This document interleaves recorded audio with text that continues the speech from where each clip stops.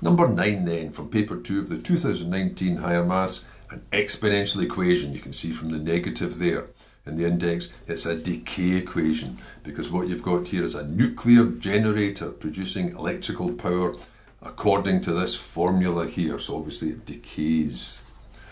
Well, what's the first thing it says? Determine the electrical power initially produced. Well, initially means T is equal to zero. Well, if T is equal to zero, then P of zero, which stands for the initial amount, will be 120 e to the, and if that's zero, that's going to be zero, because when you multiply by zero, the answer is zero. And e to the zero, anything to the zero is one, so P naught is going to be 120, and that was watts. So that should be enough to keep a light bulb going.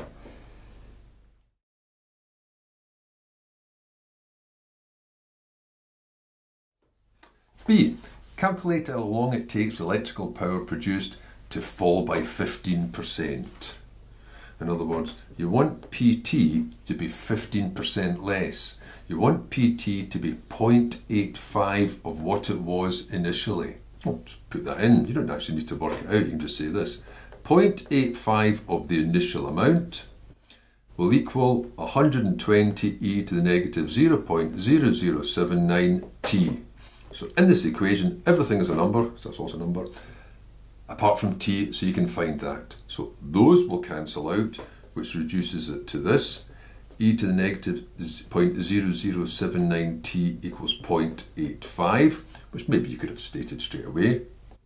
Inverse, 0079t is log base e, the natural logarithm, ln of 0.85.